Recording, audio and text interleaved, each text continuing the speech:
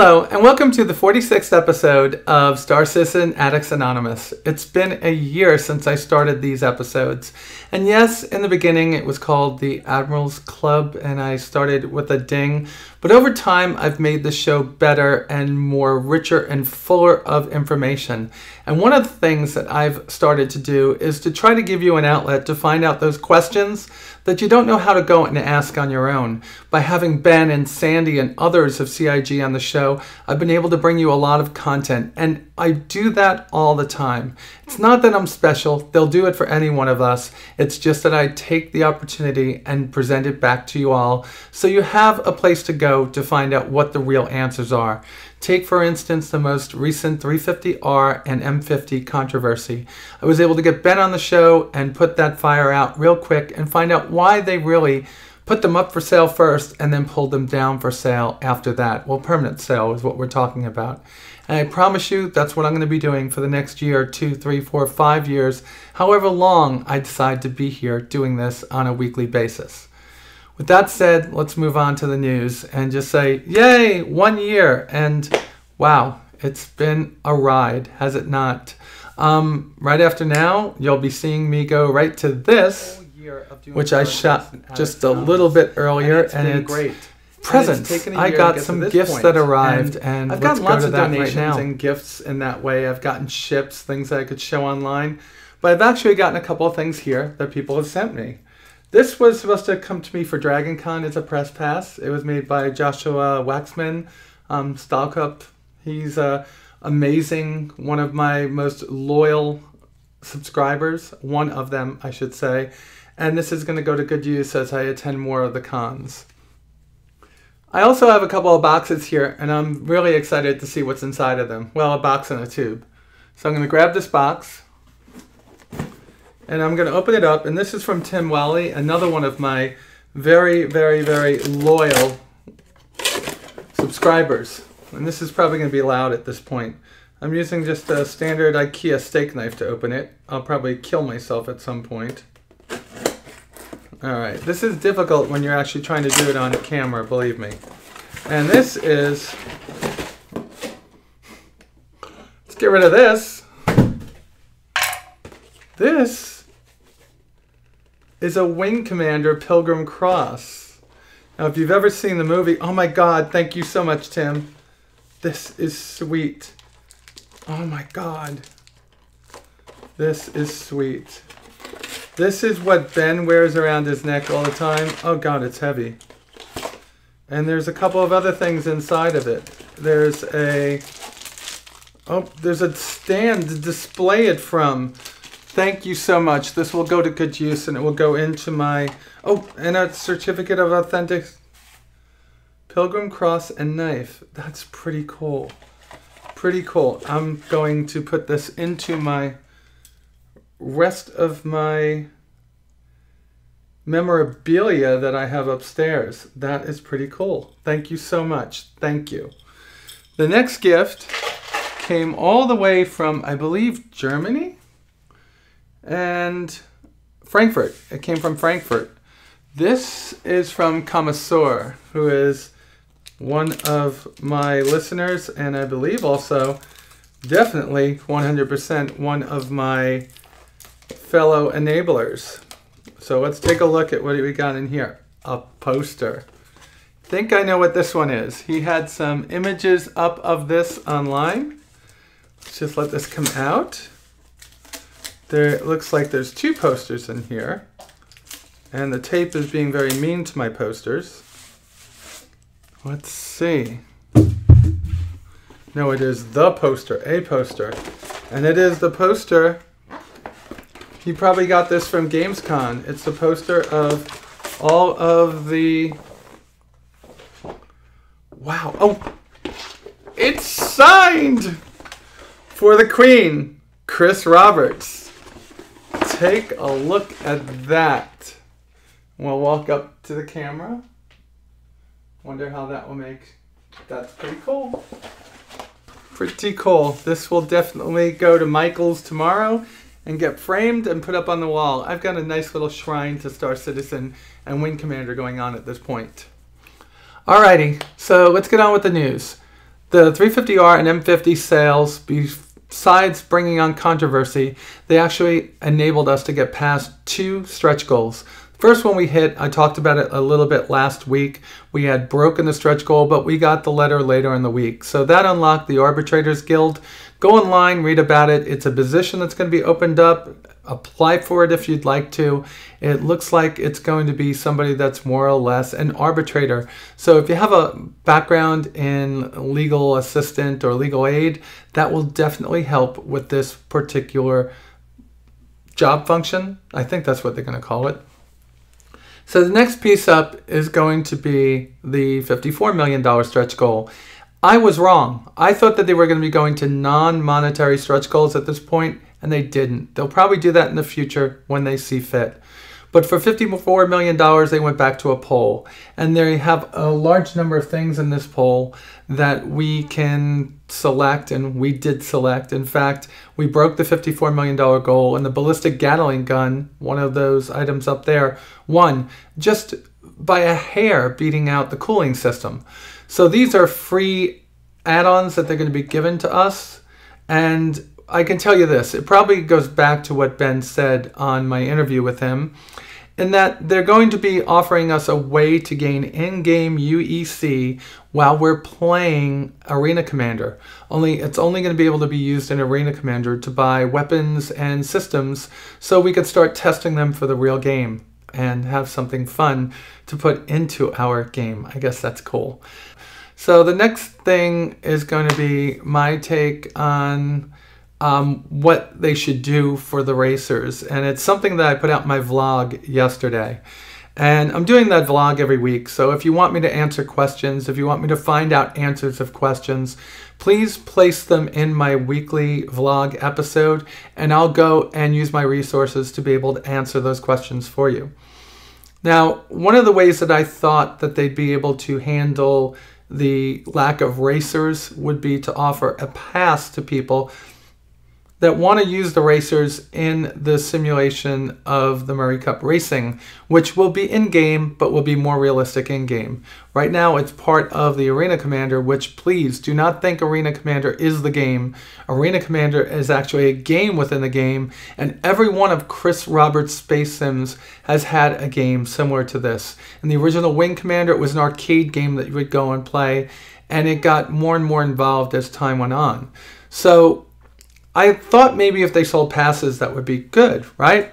But will the passes lead people away from purchasing the ship? I really don't believe that. Yes, I changed. I had to get my iPad in my hand so I could actually move my teleprompter. What I think is that the ships are quite pricey for most people. When you look at the numbers of ships sold, the Aurora outsells everything by a wide margin, and it's because it's in that sweet spot of being 45 to $50. The next racer that's coming out, the Mustang, is going to be in that sweet spot. I don't believe the people that are buying Auroras and not buying the 115 or $140 racers are going to stop purchasing those racers because they have a pass out. I think they will purchase the pass because they don't have the money. They'd rather earn it in game to buy them as opposed to the person that wants to collect, the collector like me, who wants to own every ship in the game. Um, not really, just the ships I like, but other people do. I think that a pass isn't going to be something that they would stand for. They want to purchase the ship and see it in their hangar. My idea has the pass letting people be able to use the two ships in Arena Commander, but not actually see the two ships in the hangar.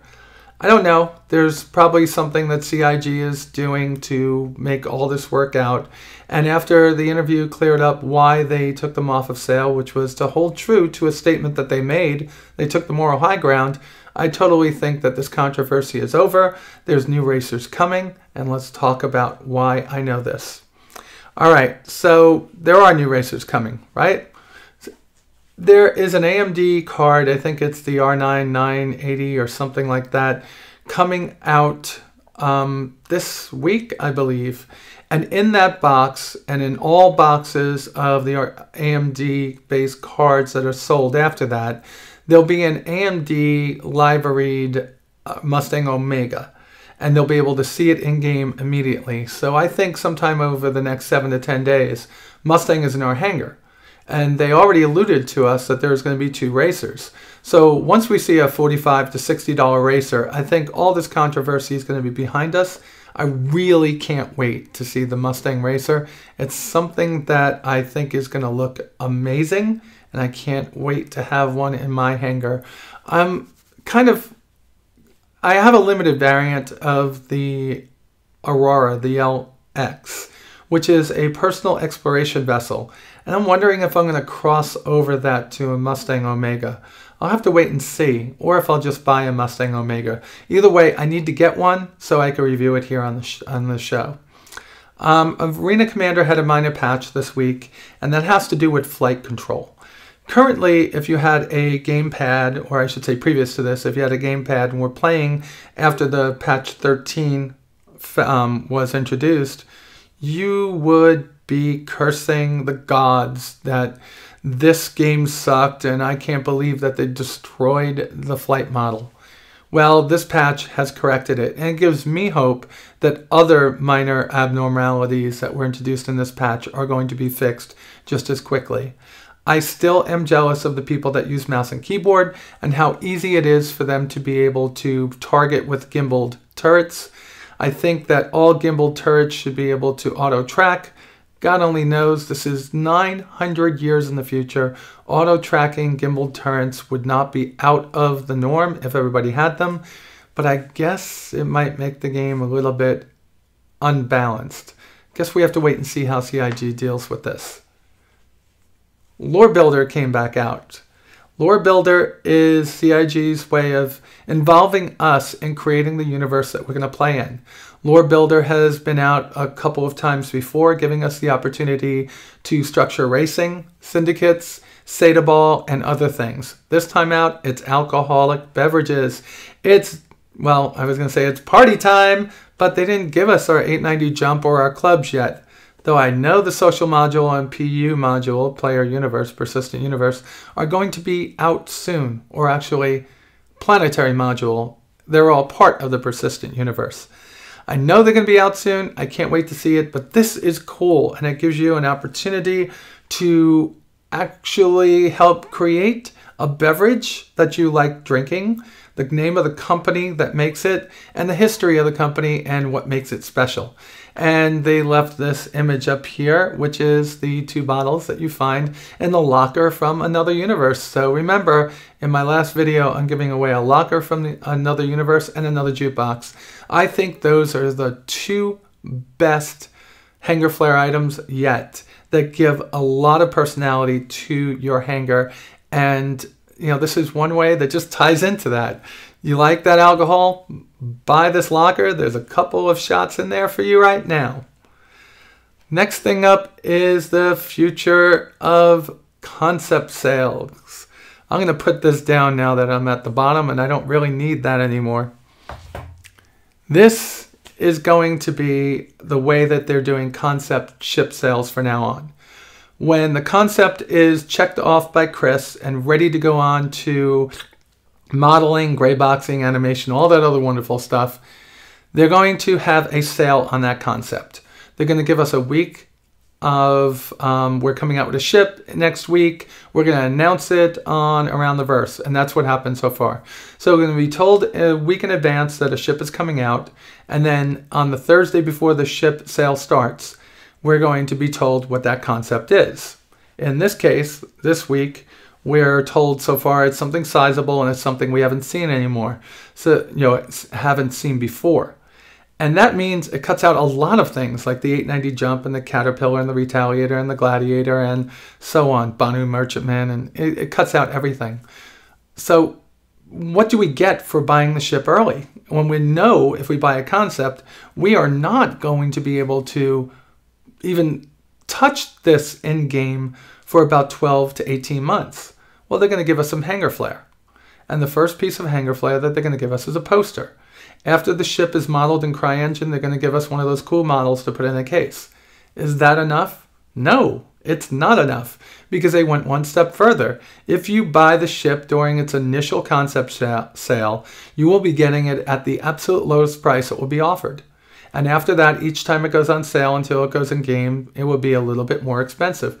Take, for instance, the M50, which started at 80, went to 90, went to 110 or 115, right? So it went from 80 to 115. That's a $25 jump in price over the course of its sale. Same thing has happened with the um, package for the 350R, going from 110 up to 140. That was a $30 jump. So you'll be able to get it at the absolute absolute lowest price. Now you better be sure that you're going to be playing the game for a long time and have a lot of trust in Chris and his crew because you might be spending a lot of money on something that you never really see if you don't like the game when it's done. The last thing is more controversial. LTI came back. Now, we've been told LTI is not going to matter. And I still believe that's true. But I think because people like myself and other people just feel more comfortable with it, they're bringing it back. Now, all of my vessels that I own right now have LTI except for a couple of them. And now, two of them that didn't have it before, the Gladius and the Xi'an Scout, are going to have it because they're grandfathering those into this, or I should say they're retroacting. Eh, I forget which one of those it would be. My vocabulary suffers since I reached my late 40s but they're going to be offering those immediately on the already purchased variants of the Gladius and the Xi'an Scout. What does LTI do? It negates you having to purchase insurance in the game as the game goes on, which we've already been told is only going to take a one or two successful missions to pay for your monthly, quarterly, semi annual, whatever it might be, insurance. Do I support this? Yes, because people that are putting their money up front should get something extra for helping the game go on.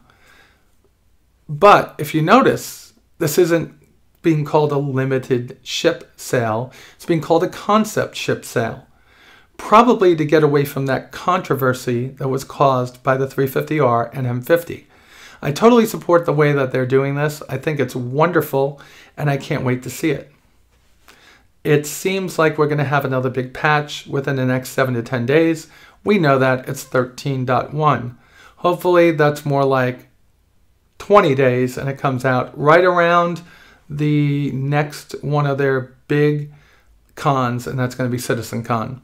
And what do I want to see in this patch? Well, I want to see the things that they promised us. I want to see all my ships. I still can't play my 350R. Somebody was really nice and told me that they'd loan me their account so I could play it on their account. Thank you so much. I forget your name and I'm to have to go back and thank you again. But that's an awesome idea and I really appreciate it. But I want it in my hangar, right? Second piece is the customizable um, controls, right? So I can customize them myself instead of picking from the predetermined ones that are out there, pre-made ones. I think that that's important because everybody is going to have a different place that they want to put things. And already I find where they have the targeting is a little bit too, it's too far out of the way and I can move things around. I think that's going to be good. They're going to tweak the performance. They're going to fix up some bugs, get rid of some memory leaks because I think there is one because the longer my system runs, the more apt it is to crash. Already we see things on the server side corrected. We could already connect to each other in public matches. They're still working on private matches and friend codes, and those things are going to be brought back into the game shortly. The big one is going to be matchmaking, and I did a video on Monday. I released it as my vlog, and in there you see me racing in an Aurora, in a Hornet, and in a M50. And in the M50, I compete and almost win. And in the Aurora and the um, Hornet, I don't even come close to competing. So they're going to have matchmaking that's going to put like ships with like ships in racing. I wonder if that's going to hold true for the rest of the game too. So they can truly make things overpowered. I would hate to see an all Aurora or all 300i or all um, Hornet grand, you know, whatever they call it, battle royale or squadron battle. I would hope that they put a certain mix of things. Well, actually, in battle royale, Maybe they should all be the same type, but in squadron battle should be a mix of things. And maybe you have to start using tactics. Using Aurora as bait, and then go chase the guy down in your 300i or your Hornet. That sounds like a good idea, right? So we got quite a lot coming in the next patch. And then, of course, they still keep on teasing us with version 1. And version 1 is going to have the multiplayer ships released for the first time. So we've got a lot going on over the next week. I can't wait for it all to come into fruition and us to look back on it and say, oh boy, that was worth the wait. So we have a concept concept ship sale. I know the Mustang's coming, and then we have CitizenCon, and there's going to be a lot of things that are going to be told taught to us, told to us at that point. Remember, CitizenCon is where they tell us how the year has gone and what their ideas are for the next year. There are a couple of reveals, but the big reveals were at the more recent um, Gamescom, and then there's going to be a big reveal at the beginning of November over at PAX PAX Australia. All right, so let's end this show with a couple of things. First off, the freelancer contest is going pretty good. We're 14 or 15 or 16 subscribers away from 1200. That's amazing. We've already gone through 200 in a month. That means that my idea of this happening just before the um, Black Friday holiday of being able to give this away is probably not going to be it. It's probably going to be a little bit sooner than that. So thank you for sharing all my episodes, liking all my episodes, commenting on them. I really appreciate it. I am now going to start a new segment on the show, and we're going to talk about it right now.